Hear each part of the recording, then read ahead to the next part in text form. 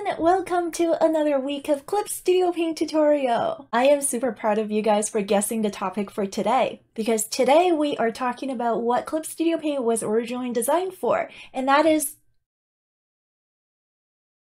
manga! For those who don't know, the term manga is Japanese for comic book, and this is why Clip Studio Paint was originally called Manga Studio. They fully unified the name to Clip Studio Paint in 2016. But Clip Studio Paint continues to have the most powerful features created for comic book use. So today I will be shedding some light on why Clip Studio Paint is the most used software in Japan. Most manga have these three things in common. Grids, speech bubble, and tones. Tones in Clip Studio Paint in particular is such a cool feature that even if you don't do comic book work, you will find it really useful. This is especially exciting for me given the fact that I have no idea how to do manga. The only time I've done manga was when I was 17 and too edgy for my own good. This was heavily inspired by Battle Angel Alita, which is one of my favorite series growing up. I cannot wait to see what kind of train wreck we're going to create today during the tutorial. No plan is the best plan, but we do kind of have to have a plot. So how about the super stale format of good versus evil, namely Joseph versus Cactopus?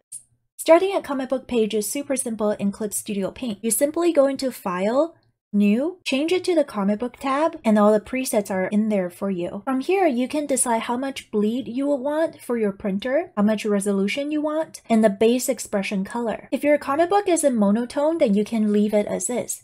But if you want your comic book to be in color, simply change your expression color to color. But today we are going to keep it simple and just use monotone. If you already have an idea of how your grids are going to look like, you can use the template to speed things up. There are a lot of presets to choose from. But today we're not doing that because, like I said, we have no idea what we're doing. The features such as fanzine, multiple pages, and cover page are exclusive to Clip Studio Paint EX. So we're going to focus on single page for Clip Studio Paint Pro users. Once you have all of your settings in place, simply hit OK. Clip Studio Paint will auto-create a page that is convenient for printing. It will include a bleed area which will be cut off by the printer, the rest of the page, as well as an indication of safe area where most of your important information should be in. The next step is to look for frame border. This tool creates the outline of your working area and is the first step to making frames. For simplicity, we're gonna use the rectangle frame. You can drag it across the safe area and it's going to automatically create folders on the side for you. And from here, when you use the cut frame border, you will be able to create frames in no time. And from the layer panel, you can see that every frame that you created, it generated a folder for you. Every folder comes with a background, a raster layer, and a mask. The mask is in place so that whatever you draw, it's not going to go out of that border. And you can easily toggle frame simply by selecting the layer within that frame. The same concept applies to polyline frame and frame border pen. It's just that your working area is going to be a different shape. Like if for whatever reason you will want your border frame to be like a shape of a bear, you can do that too, like bear within a bear. Something worth mentioning here is how your folders are set up. If you know that you're going to have a vector layer in every folder, you can simply start a vector layer in your initial frame folder. And from this point on, whenever you create a frame folder, it's going to automatically add another vector layer for that folder. Adjusting these frames is also super easy. Use the object tool and make sure you have the mask selected. And now you can use these dots to change the way your frame looks. Drag the big dot in the corner to scale the entire thing. Drag the small one in the corner to change the corner. Drag the big one on the side to expand the side or to shrink it. The top one is used to rotate. And click on the triangle to snap to border. The frame folders are essentially grouped and mask layers. All features such as the 3D model, rulers, painting brushes, and materials are all fully available for you to use. It simply streamlined the framing process for easy adjustment. Wow, this is actually going a lot better than I expected. But I feel like the last panel is lacking in a bit of a dramatic effect. It's a showdown between Joseph and Cactopus, so I wanted it to be speedy. And that's where this hidden gem comes in. Go into your figure tool and choose saturated line. These tools can help you create speed lines really quickly. There are a lot of different presets to try out, but you can always play with the attributes to have different effects. But I think the dark saturated is pretty intense, so we're just gonna go with that. And the best thing about these features is that you can always adjust them after you've placed them. For example, I now want the bottom frame to fill to the edge. I will use the object tool on the mask, click on the triangle for them to fill the entire page. But there are some areas of the effect line that isn't filled to the edge. So continue using the object tool, I just go back to the effect line layer. And from here, you can readjust the length or the thickness or whatever that makes you happy. And now we're going to add some dialogue. Oh no, what do I even say? Don't matter. We're going to go to the balloon tool. And from here, you can automatically create a speech bubble just by dragging. Another tip is that if you want the balloons to go beyond the mask, all you have to do is once you place it, move the layer to above. And when you have the same layer selected, your bubble will merge. Once you have the main balloon down, select the balloon tail and simply drag it across. Now that's a little bit too small, so we're going to increase the width of tail. Much better. There is also Thought Balloon Tail for your convenience. If you want to freehand a balloon bubble, you can always use the balloon pen and draw it out. And use the polyline instead of straight line in your balloon tail to direct it. Double click to settle. I can just see all the comic book artists face palming right now. And once you have the thought bubble, it's time to place some text. After selecting the text tool, click on the wrench icon in your tool property panel. Go under text and select wrap text at frame. Once you have that checked, Make sure you have the font that you want selected. I honestly don't know what we're gonna use, but how about we just stick to whatever that was before. And now, whatever you type is actually going to stay inside the speech bubble. What's really cool is that you can adjust the shape of your speech bubble at any time.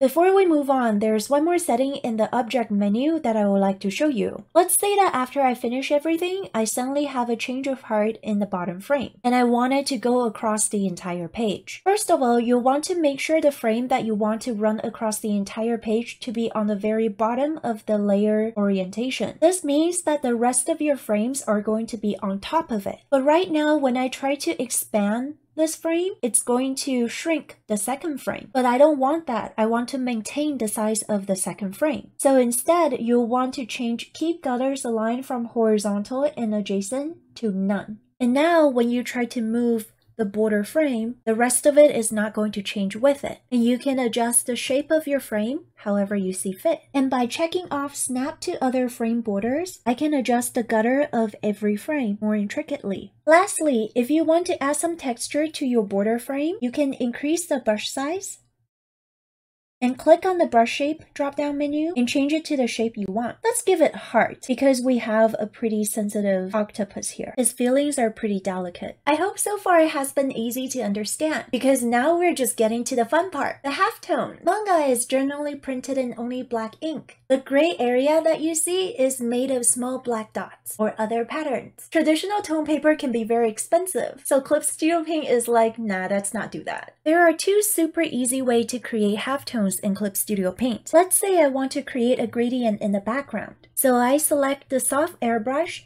to create the gradient. But how come even with the hardness turned all the way down, I'm getting the hard edges? Remember that when we initially set up the page, we chose monochrome for the page. Monochrome allows the page to be printed in only black. So what do we do if we want a soft gradient? Let's start a new layer so it's easy to see. Now click on the Layer Property tab. If you cannot see this tab, go into Window and Layer Property. And in here, you want to click on Tone and change the expression color to gray. And now you're painting in gradient. But what this really is are dots. And the size of these dots give you the illusion of grays. There are also so many different type of dots. If you click on the drop-down menu, you can select what type of shape you want. So say, I don't want circle, I want lines or cross lines. You can also expand the dot settings and change the angle to give yourself a slightly different texture. I will proceed to do the same for the octopus. I mean cactopus. Whatever. By the way, the lasso fill in the figure tool is incredible. You just draw any shape using your lasso, and then once you release it, it's going to automatically fill the area. The second part involves going into your material. Forgot I put it there. Involves going into your material palette. If you can't find this, go into window material. My not so sincere apology. So we go into monochrome and you will see a ton of different assets in here. Let's pick this one for example and drag it to where you want the center to be. If I don't want the pattern to repeat and I want the gradient to invert, I will have the operation object selected and go into the tool property panel. Choose do not repeat for edge process. Now I'll click on the event settings and hit reverse gradient. Hit OK. I can also use the dot to expand or shrink the circle. The difference between do not repeat and not draw within the edge process is that do not repeat expands the outermost value to beyond the parameter, whereas not draw simply stops at the parameter. Reverse means they'll invert the gradient, and repeat means they'll repeat. And you can still use the layer property to change the texture of the tone. Side note, spend some time with the material folders. You can probably find really really cool patterns that you've been looking for to add flair to your illustrations. You can easily expand or shrink these patterns, flip it to your drawing layer, and change the orientation. You can always find more by going to File, Open Clip Studio, and under Clip Studio Assets. And from here, you can find countless resources from 3D object to image materials to different body shapes. I found a beautiful pattern the other day when I was live streaming. Look at that. You can also easily change the way it tiles to give you different patterns. You can also create your own pattern by going into Layer, File Object, Convert Layer to File Object. If you choose Drawing Area, then it's only going to go up until where the pixels end whereas canvas size is going to give you the whole canvas even when the rest of it is transparent. But let's say we want drawing area only, and then just hit OK. Pick a place for it to save, and you will now see a file object icon. From here, select the Operation Object tool, turn off your original layer, and enable tiling. Now it's a pattern. And of course, you can change the orientation of your tiles as well. And remember where you save that file? Open that file and let's say we use the close and fill to quickly fill in some colors. And we save it. It will instantly update in all of the files that use the same file object. Now you can have a pretty colorful pattern. And if I want to use this pattern for my comic book, because why not, then you just hit Control C to copy, go back to your page, Control V to paste. Right now it's pretty tiny, so we're going to use the object tool again and increase the scale ratio. But since the original file object has color and we can't have that, so we'll go into layer property and enable tone.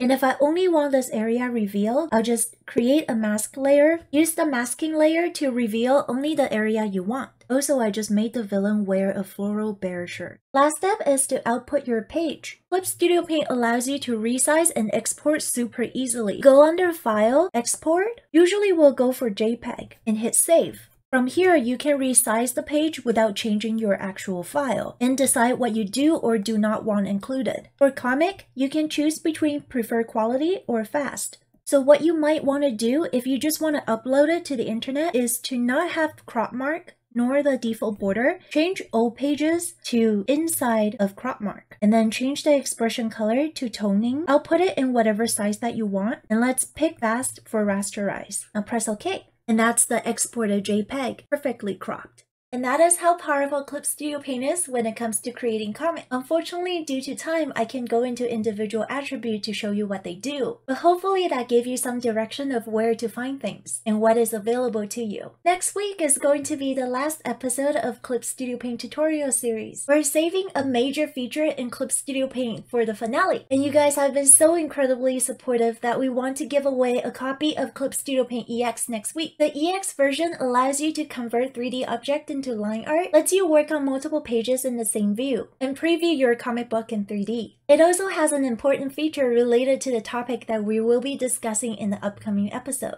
So be sure to watch the next episode for more details. And that is it for today. Again, I'm the one with Bear. I'll see you next week.